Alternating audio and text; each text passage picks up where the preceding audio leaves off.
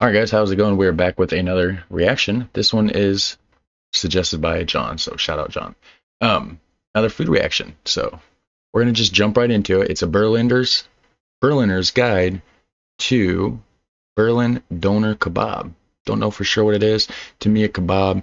When I think of a kebab, um, I think of like a like a meat stick, like a stick. You know, you got meat, vegetables, all that stuff. You throw it on the grill. Yum. This, I'll switch the screen so you can see it. That does not look like a kebab. Kind of looks like a taco or a sandwich or something. I don't know. So we're gonna jump right into it and see what this uh, Berlin doner kebab. And I probably butchered it. I'm I'm sure I did not pronounce it right. So we're gonna check this out. See what it's all about.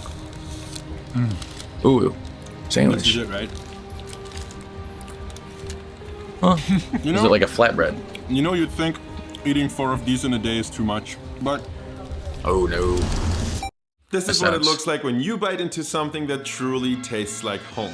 Let me explain. so normally my channel is all about recreating delicious foods from all over the world. But this oh, week nice. I rebuilt my little YouTube studio and I figured this is the perfect opportunity to introduce you guys to Döner Kebab, the food of my hometown of Berlin, Germany. So originally hailing from Turkey, Döner Kebab was brought to Germany by hundreds of thousands of Turkish migrants who came to help and rebuild the country after World War II. Now the cool thing okay. is that Berlin style Döner Kebab evolved to become an entirely new food in its own right. You even have like Berlin-style kebab good. shops in the United States or Indonesia these days. But the food also truly became a symbol of Berlin and its people. So I grabbed my good friend Wei Xiang. We both grew up in this town and after eating probably thousands of döners in our lifetime, we decided it's time to create a world? real Berliner's guide to döner kebab.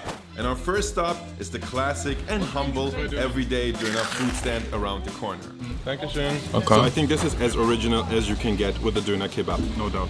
You have the classic super thinly sliced meat from the vertical grill. You have some iceberg lettuce, some tomato, some cucumber, and of course some onion. And what about those this sauces? vertical grill though? Thanks for asking, my friend. so of course you always have a classic choice of three different sauces. There's a garlic sauce and there's a spicy sauce. And for the wusses, there is also an herb sauce. I'm getting really hungry. Let's just dig into this, please. I'm gonna be hungry before the end of this. I mean, that looks good. Like seriously, people in Berlin grew up eating this. It's the cheapest thing you can get, and it's also much healthier than a burger. I mean, look at all this veg. This bread is really good. Look at the sesame and all. Mm -hmm. The bread is always very toasty, and every bite you I take like that. is like a perfect combination of I like the way that bread looks. And salad. Actually, I think I'm gonna finish this. Yeah, it tastes so good. So, what is your valuable opinion of this one? The meat is perfect. The bread is crispy and the salad is fresh. You don't want more than that. Out nice. of 10. 10 what? Think of a score. Don't say it out loud. Yeah. One, two, three. 7.5. Not bad. Not bad. Not bad. Some people believe firmly that this is the best part, the very end when, you know, the meat drips with sauce and all. It's really tasty. Mm -hmm. Check this out. We're gonna take you to Bali Döner, which is our favorite Dürüm Döner in all of Berlin. All right, let's go. Alright, let's check this out. Bali Dürüm though, this thing is huge. Like this would be a challenge for me when I was a kid to finish it all. I don't know if I can do it anymore, but I used to be able to do it and after that I felt it the whole day. Let's see if we still got it. You just got done cramming that big ass sandwich down your face. You're gonna have less of a chance. You should have hit this place first if it was a challenge. I don't know. Look at this. They actually have the world famous Duna logo. The what name of that, that thing is what? literally The Machine. It's just called The Machine. I get Gerät. How do they get the meat on there, I wonder? This is some serious ass Döner. Cheers, Cheers. Look at this. This is this is ridiculous. like nice. And this is what we call the Bali Rakete or Bali Rocket. The rocket. Yeah. Ah. I don't know. I'm not. I don't know if I can finish this. So what's special about Dürüm Döner? Obviously, it's the shape. This one is rolled, and therefore some might argue a little bit more convenient to eat. The size is usually larger. There's more meat. It's more of everything, and a lot of Almost places like a taco. Like Bali, they like to add French fries. Burritos. To me, it was my favorite thing ever. Like I used to go here after school all the time, and I used to order a specialized version. I would always tell them less meat, more fries. I just deep throated myself with a kebab. Oh my god, Jesus. what is this thing? Yeah, there's french fries in them. There's a reason why dürüm is usually 50 cents more expensive than a regular kebab. You want to try some? Mm -hmm. It's bigger than my face. Burritos are big. And that does look pretty good. Bali, huh? Bali Me Personally, I, I prefer the um, crispiness of the bread. I would rate it a 7.5. I, I, think I would like the crispiness of the bread yeah, as well. Me, like many of my best days.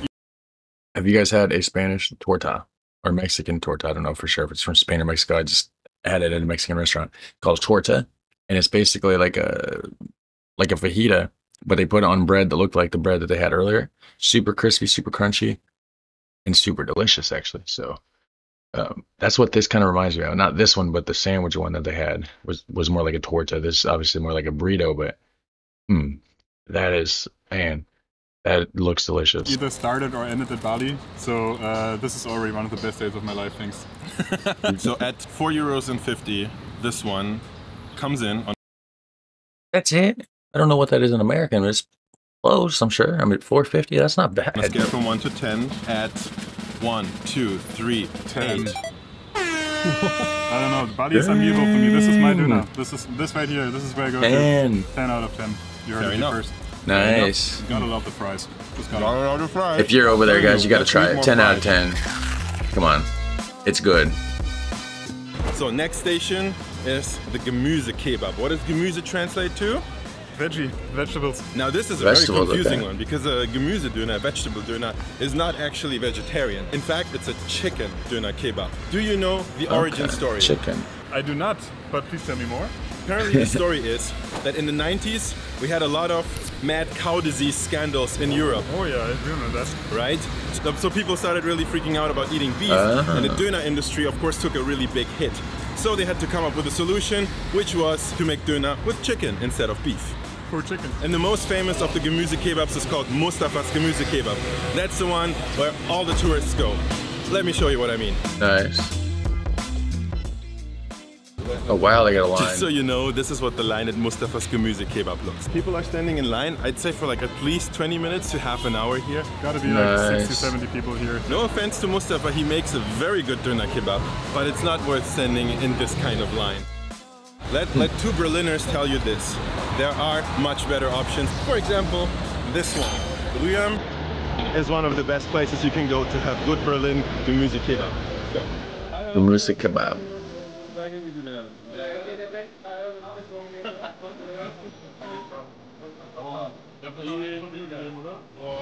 I have your permission? Yeah, wow. permission. You have permission. Good. Cheers, man. What is that, like blue cheese? Mm, yeah. Like flavor-wise, texture-wise, we're in totally different territory here. So in, some red onion. Absolutely, man. Look, okay, tomato. First order of business. There's definitely some cheese in here. What kind of cheese? Some soft white cheese. And okay. also look at the bread. Rather is that green pepper? Like triangular piece no, lettuce? the big round flat bread. You have a single, like a, an individual little bread. It really trying harder. The sauces are thicker. And then look at this. If you look closely, you will see there's like a reddish powder here. That is sumac. That's one of the spices they add. Sumac? Your regular old doner place won't add these fancy spices, but like they also like to season their meat after they cut it from the grill with a little bit of either soy sauce or Maggi sauce. You know, this is like the beginning mm. of the gourmet movement in the doner world. Seriously, let me dig in. Oh man, I almost forgot to mention the most important thing.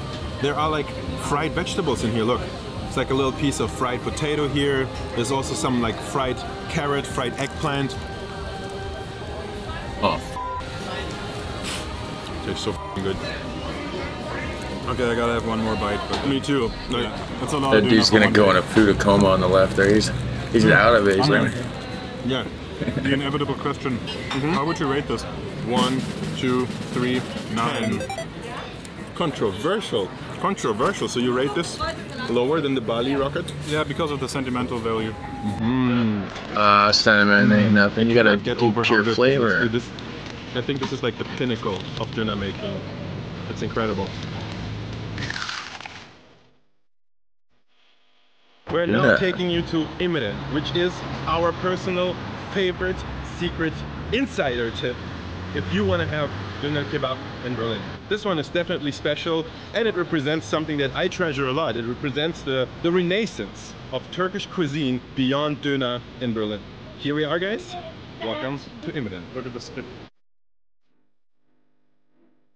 So one of the oh, they all put it on those wheels, huh? Own oven. They bake their own bread. They make their own meat. This place does everything from scratch, and this definitely deserves some, a spot in uh, in the top list of the best doner places in all of Berlin. Check this out.